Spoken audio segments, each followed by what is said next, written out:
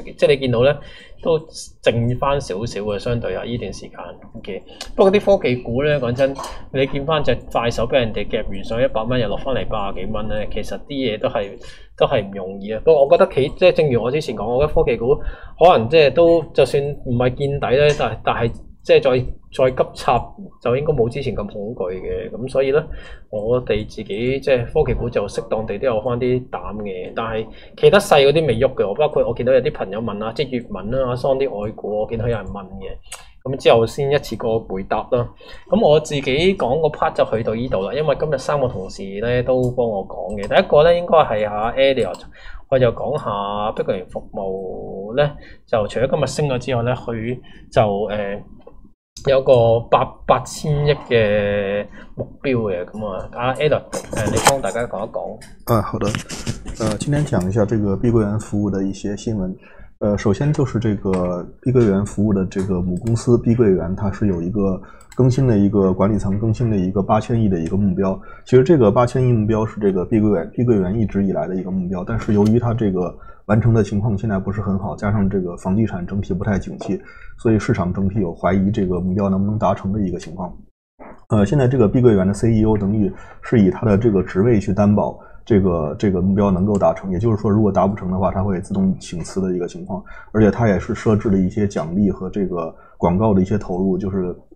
各方面的一个目标去保证它这个目标能达成。然后这个我也简单算了一下，这个缺口现在其实现在是有一千六百九十四亿的一个缺口。如果按它之前的这个每月七百亿的这个速度来看的话，是可能会还会有一些缺口。所以说，他们现在每个月可能得额外增加这个五百六十五亿的一个一个这个。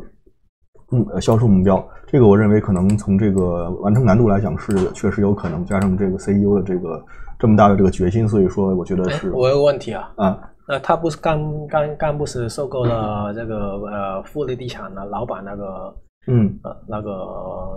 呃公司吗？嗯，那可以计算进去吗？呃，这个呃，那个碧那个收购好像主要是以碧桂园服务来去做的，然后这个可能能不能计算到碧桂园里，我这个不是很确定。然后对，但是可能呃，它更多好像是物管方面的一个一个一个收购，所以说这个可能不一不一定能计算进去。所以说所以说可能他们还是要要要去努力一下，想办法，可能是还是用传统的方法可能去做这个事情。对，然后。这个的话，我觉得对碧桂园的服务，呃，服务的影响可能是是比较大的影响，因为它那个其实碧桂园服务现在来讲，七成的这个 GFA 的这个来源，其实都是来自于母公司的一个情况。所以说，这个如果母公司能够顺利完成这个目标的话，其实就会对这个碧桂园服务的这个在管面积是能够保证它的在管面积的一个正常增长的一个情况。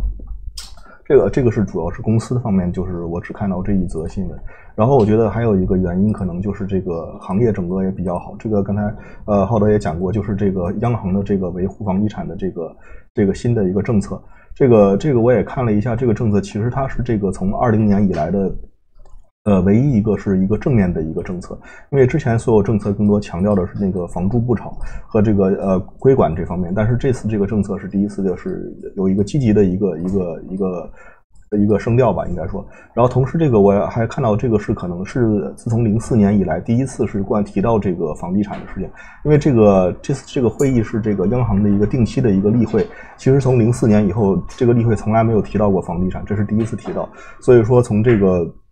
迹象来看，应该政府的一个态度现在可能是也有点转换，可能也意识到这个监管不能太狠的一个情况。然后同时，我看到这个很多的一个券商，他们有一个共识性，就是认为这个这次这个政策的基调的话，可能后续的一个可能发生的事情，就是可能会降低这个按揭的这个贷款的一个难度和一个还款的一个时间，可能这个的话，可能对于这个。房地产公司的来讲，可能是资金在这个流动性方面可能会有很好的一个补充。当然，这个只是一个猜测，就是我觉得可能也是比较早期，因为现在只从这个政策来看，也看不出任何的一个一个迹象。所以说，可能还是得看后续的这个这个政策的一个补充。所以说，总体来觉，我觉得这个可能房地产方面这个政策也是对这个物管公司呃影响比较大，因为他们呃总体来说，我觉得属于一起的。所以说，这个就是我认为为什么碧桂园服务呃表现最近比较好的一个原因，可能是。嗯，对，好，OK，嗯，